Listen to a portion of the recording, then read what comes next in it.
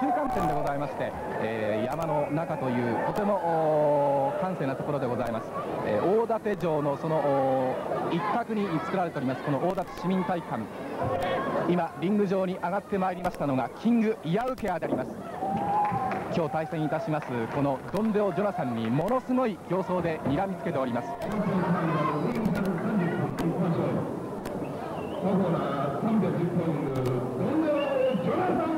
モルモンの人殺しの意味を取りますドンデオ・ジョナサン現在得点16点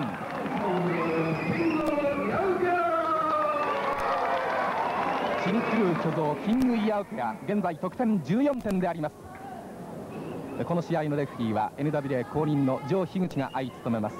さあ山田さんこの超大型同士の激突を迎えましたこの市民体育館。歓声の方もすごいですね。そうですね。しかしあのこれだけ大きい人が2人ぶつかり合うとですね本当にそのプロレスリングの醍醐味と言いましょうか。もう見事としか言いようがないですね。しかもこの2人ご承知のようにアメリカのマット界においても大変に実力者として通っている人たちですね。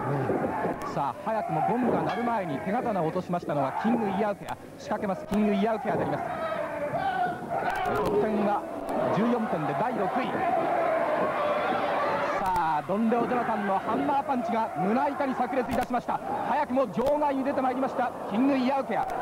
本日の大館市民体育館が桟敷席で、えー、この1階のフロアのお客様にはご覧いただいているわけでありますけれども定員が1500名のこの市民体育館、えー、アリの入れる隙間もないほど超満員であります。さあ場内のキングイヤウケアを追いかけますこのドンデオ・ジョナサン、まあ、ジョナサンも開幕戦であの若き鶴田をですね、えー、パワーにものを言わせて、えー、破ってその後ずっと白星が続いたんですけれども、まあ、この長いサーキット今日が最終戦なんですが得点の方は今一つ伸びなかったですね。そうですね。あの最初ね非常にいいスタートを切りながらの途中でね、はい、ちょっとあの食われてしまいましたね。長崎でのブッチャーの、はい、ね、一戦それから佐伯でのキムドクとの一戦。この2つ黒星を落としてからちょっとこのジョナサン自身の歯車が噛み合わなかったようであります。さあ138キロのジョナサン。そして160キロ近いこのキングイヤオケアがリングの中央でガシッという音を立てましてぶつかり合いました。さあ今度は力比べ。この一戦ですね両選手とも切り札というべき技がありますね。そうなんですね、はい、まあ、あのジョナサンにはねハイジャックバックブリーカーがありますしね、はい、まあ、あのイヤオケアの方にあのフライングボディプレスという強烈な技がありますね。フライングソーセージ。はい。もうこの技はね、まあ、どちらが仕掛けても完全に相手を粉砕することができるというもう文字通りの切り札ですねまあ、この2人がですねリングの中に上がりますと本当にリングが狭いという感じが伝わってまいりますね。そうなんです。もう本当にねミシミシする音がここまで、ね、はっきり聞こえてきますね。ハンマーパンチを見せますドンドジョナサン。果たしてこの巨漢キングイヤウケアを得意のハイジャックバックブリーカーで仕留めることができるかどうか。ジャンプ力もあります。なかなかの見事なしが軽快なこのドンレオ・ジョナサンであります。ジョナサンを追っかける追っかけるそして手刀を落とします。キング・イヤウケア。さあそして本部席の目の前にも捕まりました。今日は本部席がこの放送席の隣なんですけれども早くも桃田リングアナウンサーの前の机の上にジョナサンを持っていきます。そして机を立てました。机を立てました。イングイヤーケアこの選手得点が伸びないというのはやはり場外乱闘で負荷をしすぎるんですね。そうなんですね。やはりあのルールをねもう少し考えてやらないとねいくら強くてもダメですね。さあ今度はイヤーケアをエプロンのそばに落としました。ドンレオ・ジョナサンであります。流血戦場外乱闘になりますと暴走してしまいます。キングイヤーケアであります。先ほど中に登場。ドンレオ・なかなかこの人は紳士らしいファイトを展開しますね。そうですね。しかしねあれだけ大きな体で、はい、今もねひらりと展開してね中入りましたがねまあ身の魂の素早いことですね。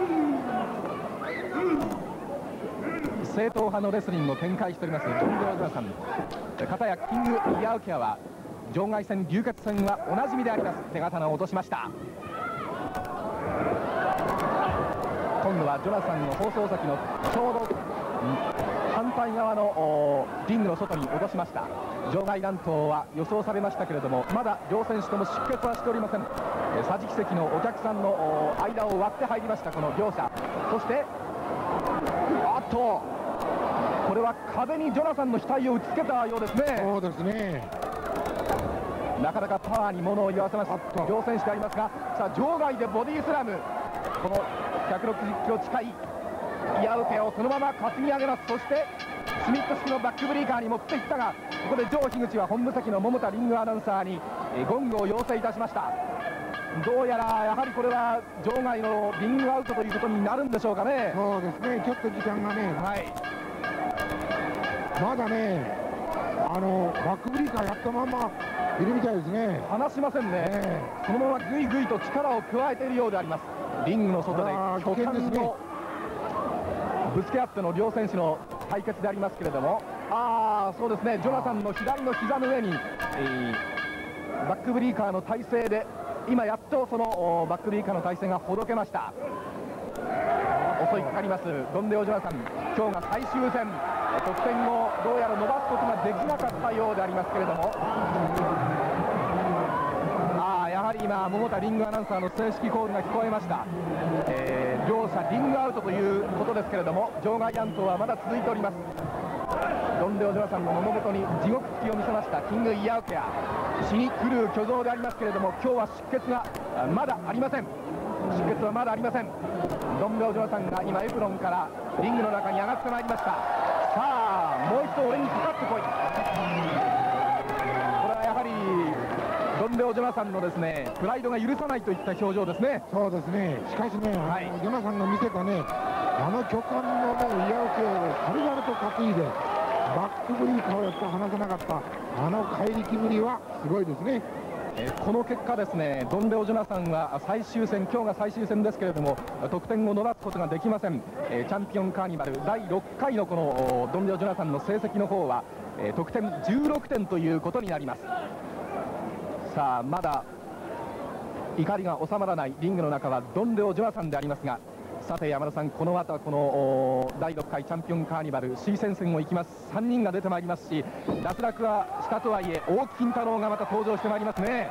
この一戦は、はい、本当に注目の一戦ですね